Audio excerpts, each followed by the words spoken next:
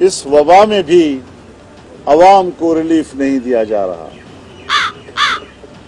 इमरान खान वज़ीर आला जी उन्होंने की मदद की है इस वबा में भी आवाम को रिलीफ नहीं दिया जा रहा। इस तो तरक्की ज़्यादा देवे असि दुआ है इस वबा में भी आवाम को रिलीफ नहीं दिया जा रहा।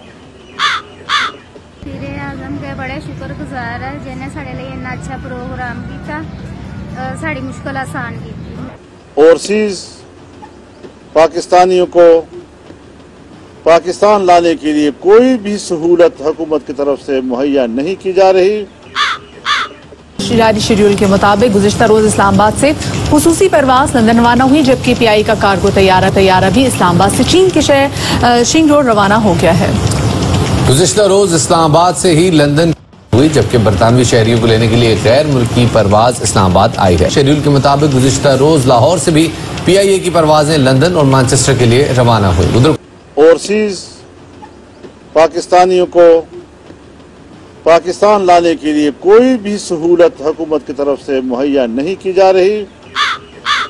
दुनिया के मुख्तलिफ़ ममालिक में फंसे पाकिस्तानियों की वतन वापसी का सिलसिला जारी है। कराची और फैसलाबाद में दो परवाजें पाकिस्तानियों को लेकर पहुँच गईं।